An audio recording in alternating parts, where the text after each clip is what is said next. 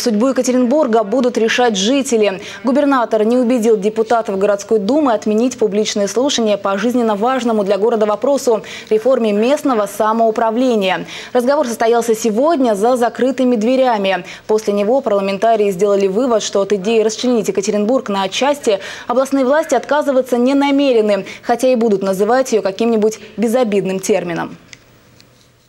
Как я понимаю, губернатор не оставил идею. Ему очень не нравится слово «расчленение». Хотя, ну, это действительно расчленение города, еще можно ну, отозвать закон. Сказать, что он нам не нужен, там еще что-то. Вот, просто чтобы никто не переживал, потому что все переживают, это реально э, закон может запустить расчленение города в любой момент, как будет настроение. Вот, и похоже, что никто не собирается спрашивать мнение людей.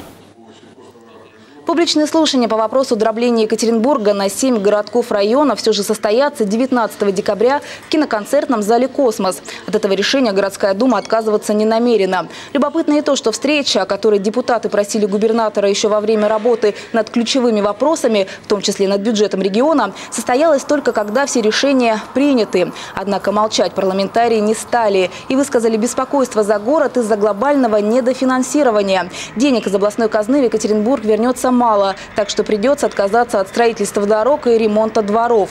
В ответ губернатор Куйвашев предложил жить на дотации. По сути, это означает полную финансовую и политическую зависимость от областной власти.